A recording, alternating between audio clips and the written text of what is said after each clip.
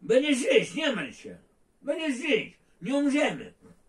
Nie umrzemy. Kurwa, ja jak Majer żył, to ci mówiłem, po trzy torby przywoziłem. Spytajcie jego. Do śmietnika wybierali. Tak, jeden. Tak. Ludzie przywozili paczki. Ludzie. Konserwy, nie konserwy. Chcesz konserwy, to dam, pierdolisz. Cało pierdolisz. Przyjechał ten o chudandzie Jacuciek, kurwa, ani, ani w prawo, ani w lewo. To ty też ani w prawo, ani w lewo? Mówisz, że będziesz pomagać i tak dalej, że będziesz chleba piłować. No A tak, no. będzie, będziesz A czy ja mówię, że, że nie?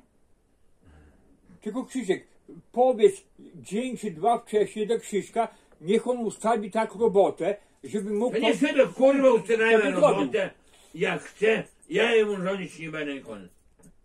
On jest chłop dorosły i chuj. No dobrze, No, a chłop dorosły, to trzeba myśleć, a może kurwa u, u tego zostanie.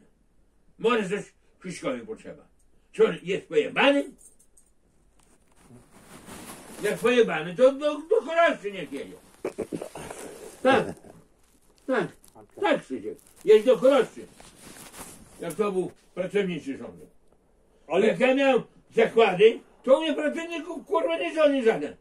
Do mnie pracownik przychodził i mówi tak. E, Jadę, panie ten. panie Krzysztof, jadę dzisiaj do choroszczy. Nie. Ja jestem dziś mieć wolny. On mówi, Ni chuja. Do roboty. Do roboty. A dlaczego, panie Krzysztofie? Dlaczego? Bo jest robota u mnie. A też przychodzili inni pracowali. Ja mówię, u mnie zapierdala się koniec. A nie to wypierdala. Dobra, no. Nie ma płaty. Nie ma płaty. Nie ma. Nie było tak u mnie, kurwa. A po co wypłata?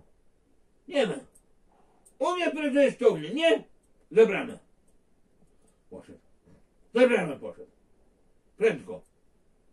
I Marek tu nie wstąpi. Zobaczysz. Chodź.